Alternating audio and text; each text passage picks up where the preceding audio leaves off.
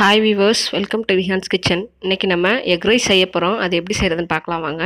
ஒரு பாத்திரத்தில் எண்ணெய் ஊற்றிருக்கேன் எண்ணெய் சூடானதும் அரை ஸ்பூன் கடுகு போட்டுக்கலாம். அரை ஸ்பூன் உளுந்து சேர்த்துருக்கேன். அரை ஸ்பூன் ஜீரகம் சேர்த்துக்கலாம். கொஞ்சமாக கருவேப்பிலை சேர்த்துக்கலாம். அதையெல்லாம் புரியட்டும். இப்போது ரெண்டு வெங்காயம் கட் பண்ணி வச்சுருக்கேன். ரெண்டு பச்சை மிளகாய் கட் பண்ணி வச்சுருக்கேன். அதையும் சேர்த்து மிக்ஸ் பண்ணிக்கலாம். வெங்காயம் நல்லா வதங்கட்டும்.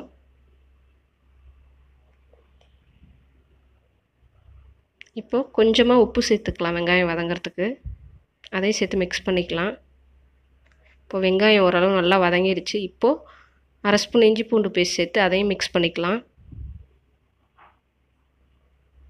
அந்த இஞ்சி பூண்டு பேஸ்ட் ஸ்மெல் போகிற வரைக்கும் மிக்ஸ் பண்ணிக்கலாம். இப்போது நான் முட்டை சேர்த்துருக்கேன். நாலு முட்டை சேர்த்துருக்கேன். அது கூடவே ஒரு ஸ்பூன் பெப்பர் சேர்த்துருக்கேன். மிளகுத்தூள் சேர்க்குறேன். இப்போது பெப்பர் சேர்த்துட்டு எல்லாத்தையும் நல்லா மிக்ஸ் பண்ணி விட்டுக்கலாம். கால் ஸ்பூன் மஞ்சத்தூள் சேர்த்துக்கலாம். அதையும் சேர்த்து நல்லா மிக்ஸ் பண்ணிடலாம். இப்போ முட்டை ஓரளவு நல்லா வந்துருச்சு.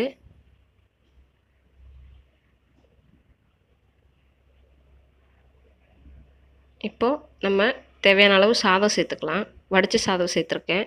சேர்த்துட்டு அதையும் மிக்ஸ் பண்ணி விட்டுக்கலாம். நான் உப்பு போட்டுட்டேன். சாதம் மிக்ஸ் பண்ணுறப்போ உங்களுக்கு தேவையான அளவு உப்பு சேர்த்துக்கோங்க.